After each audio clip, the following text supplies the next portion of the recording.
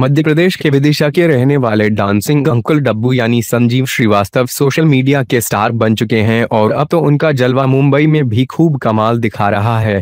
तभी तो वो आए दिन बड़े बड़े सेलेब्स के साथ नज़र आते हैं। जी हाँ सुनील शेट्टी और सलमान खान के बाद अब डब्बू अंकल गोविंदा को भी अपना फ़ैन बना चुके हैं।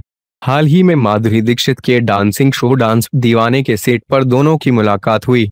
जहाँ दोनों ने मिलकर एक से बढ़कर एक डांसिंग परफॉर्मेंसेज दी। जैसे ही सेट पर गोविंदा से डब्बू अंकल का आमना सामना हुआ तो पहले तो उन्होंने गोविंदा के पैर छू लिए, फिर उन्हें गले से लगा लिया।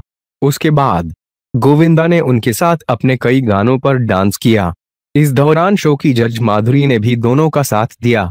इस दौरान वहाँ मौजूद ऑडियंस ने इनकी जुगलबंदी का खूब लुत्फ उठाया। सलमान खान भी डब्बू अंकल के डांस के कायल हो चुके हैं।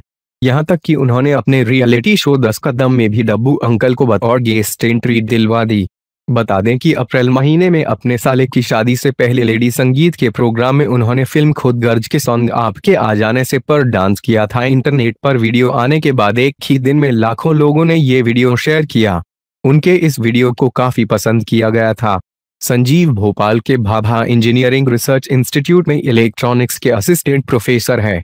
हाल ही में विदिशा म्यूनसिपल कॉरपोरेशन ने उन्हें अपना ब्रांड एम्बेसडर बनाया है yeah.